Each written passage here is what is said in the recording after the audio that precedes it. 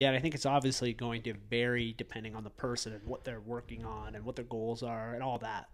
Um, but generally, you want to see that they are,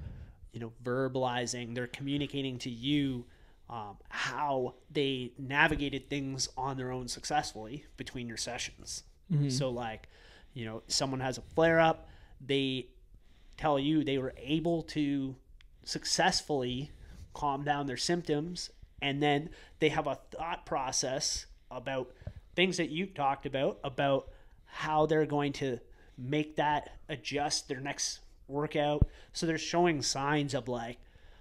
actually implementing and understanding like they're comprehending what you've been telling them. Yeah, and I think it's oftentimes